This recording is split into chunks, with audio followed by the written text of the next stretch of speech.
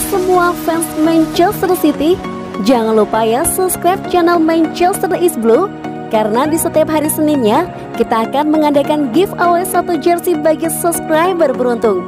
Dan jangan lupa like, komen yang menarik, dan jangan lupa cantumkan IG kalian di komentar. Selamat mencoba. City Till Wida. Arsenal melakukan penyelidikan untuk dua Man City menjelang kemungkinan musim panas.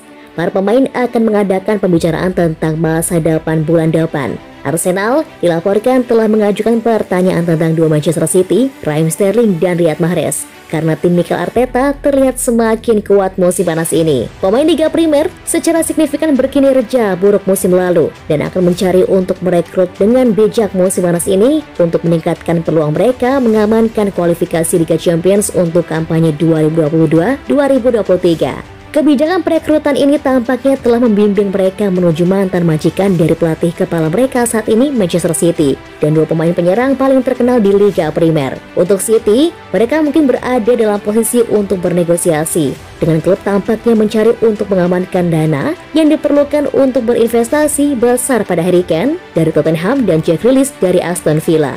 Melansir Eurosport, Arsenal menanyakan tentang Raheem Sterling dan Riyad Mahrez untuk memeriksa status keduanya di tengah serangan uang besar Manchester City untuk mengamankan Harry Kane. Namun Jones menyoroti bahwa tetap tidak mungkin bahwa baik Raheem Sterling atau Riyad Mahrez ingin pindah ke Stadion Emirates. Namun itu hanyalah tanda Arsenal mencoba mengukur level pemain mana yang dapat mereka targetkan.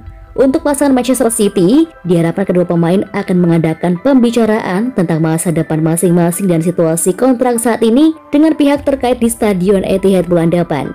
Sterling saat ini sedang menjalani tugas internasional bersama Inggris dan sedang mencari untuk memperpanjang kontraknya dan mungkin mencari persyaratan yang lebih baik. Sementara Riyad Mahrez hampir pasti akan mencari hal yang sama setelah kampanye pribadi yang mengesankan musim lalu. Saat ini dapat dipahami bahwa Manchester City tidak mungkin memperkuat posisi sayap dengan prioritas yang jelas adalah tanda tangani pengganti langsung untuk Sergio Aguero yang baru saja pergi. Bernardo Silva secara aktif mencari jalan keluar dari Manchester City musim panas ini dapat memberi pejabat klub dana yang diperlukan untuk pindah untuk orang-orang seperti Jack Grealish di kemudian hari jika transfer ke Spanyol diamankan untuk mantan pemain AS Monaco itu.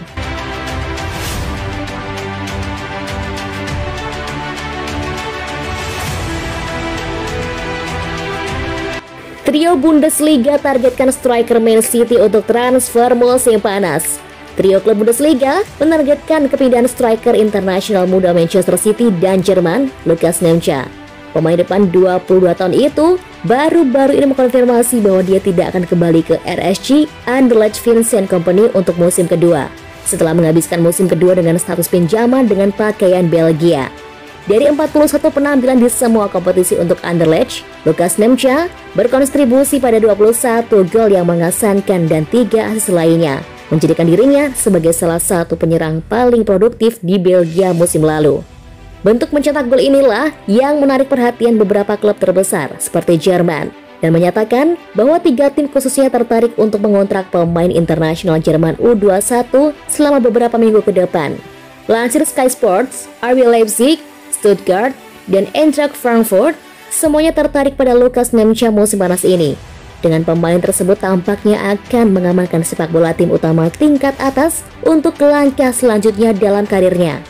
Minat yang terakhir mungkin merupakan indikasi kuat bahwa tim Adi Hutter itu sudah menyiapkan rencana jika mereka kehilangan striker internasional Portugal yang diminati oleh Andre Silva musim panas ini. Dengan penyerang itu menarik minat beberapa pemukul terbesar Eropa.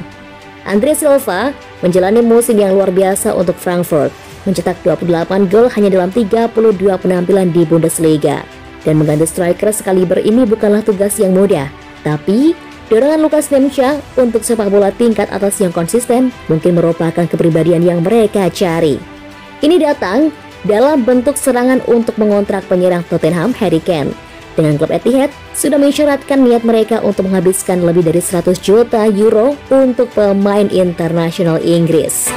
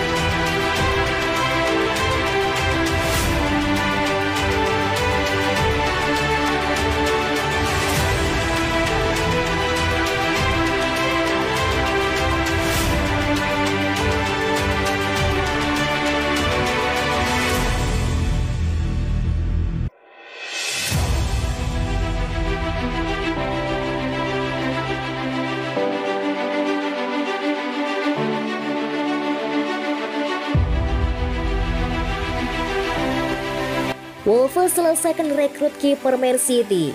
Wolves telah menyelesaikan penandatanganan kiper internasional muda Manchester City dan Inggris, Louis Molden. Klub Molineux mengkonfirmasi penandatanganan pemain dalam pernyataan klub di situs resmi mereka pada Selasa pagi. Ini telah dikonfirmasi bahwa kiper 19 tahun itu telah menyetujui kontrak 2 tahun di Wolverhampton dan akan menjadi pemain muda mereka pada 1 Juli setelah kontraknya di Man City berakhir minggu depan. Molden berkembang melalui sistem akademi di Liverpool dan Manchester City dan membuat penampilan untuk tim U18 dan U23 di juara bertahan Liga Primer.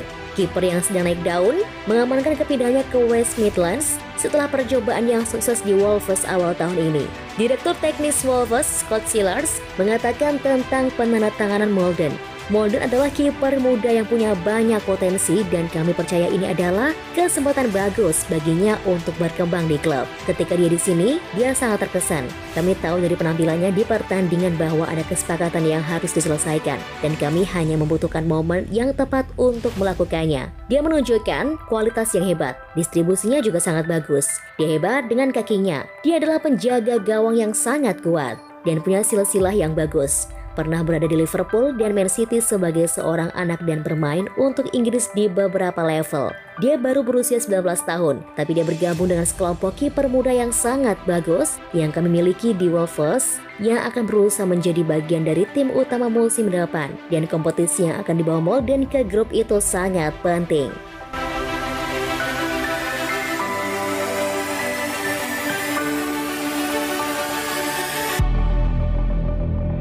Man City plan sebuah kedatangan profil tinggi untuk menggantikan dua penyerang saat ini. Jika Manchester City mengizinkan Bernardo Silva dan Riyad Mahrez meninggalkan klub di jendela transfer musim panas, kedatangan profil tinggi dapat ditandatangani untuk menggantikan mereka. Bernardo Silva tertarik untuk pindah ke Spanyol setelah tumbuh tidak bahagia dengan kehidupan di Inggris dan diyakini bahwa Man City akan bersedia melepaskan pemain berusia 26 tahun itu jika mereka menerima tawaran yang cocok untuknya. Manchester City juga dipahami sebagai tawaran yang menghibur untuk pemain sayap Aljazair, Riyad Mahrez dan bisa menguangkannya setelah akhir musimnya yang kuat. Melansir Manchester Evening News yang juga mengungkapkan bahwa Jack rilis dari Aston Villa jika bala bantuan lini tengah atau depan diperlukan. Meskipun perlindungan disediakan di sisi kanan oleh Phil Foden dan bintang akademi yang baru dipromosikan Cole Palmer, Berinan menyatakan bahwa kepergian dengan profil tinggi akan membuat kedatangan profil tinggi menjadi kebutuhan. Sedangkan untuk sayap kiri, Man City punya stok yang baik dengan Phil Foden dan Raheem Sterling sebagai opsi saat ini. Brennan mencatat bahwa sementara awal di final Liga Champions telah membungkam sebagian pembicaraan tentang Raheem Sterling yang mencari pindah ke tempat lain dan pemain Inggris itu berharap untuk tetap di Stadion Etihad untuk musim depan. Kontrak 2 tahun pemain 26 tahun itu saat ini terus menjadi topik.